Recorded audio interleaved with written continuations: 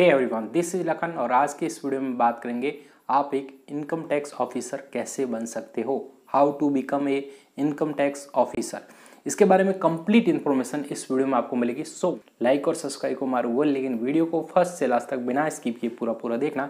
जिससे ये अपडेट आपको अच्छे से सारी सारी समझ में आ जाए। दोस्त, सबसे पहले बात कर लेते हैं कि भाई इनकम टैक्स ऑफिसर कौन होता है? तो दोस्तों, आपको पता है कि इनकम टैक्स क्या होता है?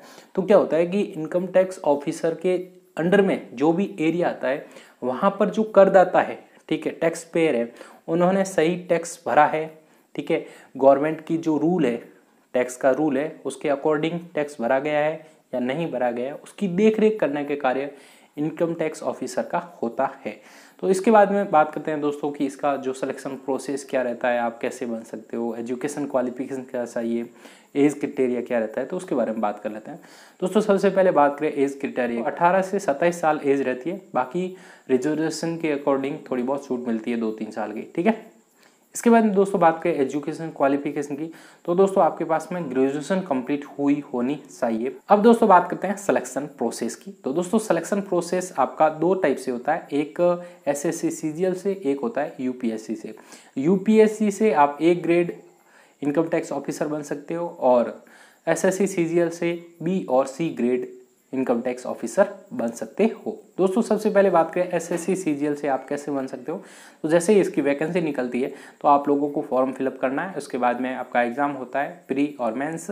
उसके बाद में दोस्तों, आपका टाइपिंग टेस्ट होता है और उसके बाद में आपका इंटरव्यू होता है। इंटरव्यू के बाद में डॉक्यूमेंट वेरिफिकेशन होता है और उसके बाद में आपको सेलेक्ट कर लिया जाता है। ये प्रोसेस रहता है एस एस की तरफ़ उसके बाद में यूपीएससी की बात करें तो यूपीएससी के अंदर भी वैकेंसी निकलती है तो आपको फॉर्म फिलअप करना होता है। उसके बाद में यूपीएससी के भी प्री मेंस एग्ज़ाम देने होते हैं। उसके बाद में आपका टाइपिंग टेस्ट इंटरव्यू होता है सेम प्रोसेस रहता है, ठीक है?